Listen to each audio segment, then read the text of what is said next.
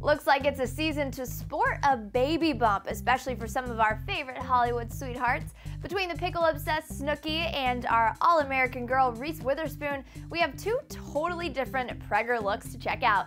So, starting us off, we all know that the 24 year old Guidette has a style of her own, but how has she transformed that hip hugging miniskirt into maternity clothes?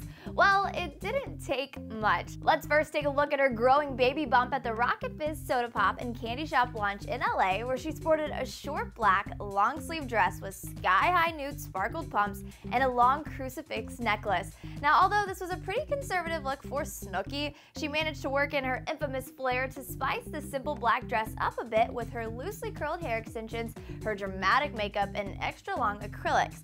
But does this look really scream soon to be mom? We're not sure, but on the other end of the spectrum, we have Reese Witherspoon, who is no rookie when it comes to being pregnant. The already mother of two has her maternity look down pat and knows just what to wear to flatter her baby bump. This gorgeous sparkle blue gown fit Reese perfectly, accentuating her belly and giving her a sexy knee-high slit. The actress seems to be just glowing with her blonde hair in a sleek updo and her silver strappy pumps. In her second look, the star shows us that she too can pull off a shorter hem, similar to that of Snooki's, yet still a bit more conservative in her navy short sleeve dress and matching ankle strap heels. But which look do you prefer more for a soon-to-be mom? Snooki's crazy and fun colorful looks or Reese Witherspoon's more conservative and mellow maternity outfits? Let me know in the comments below and don't forget to subscribe to Clevver Style for the latest on celebrity style.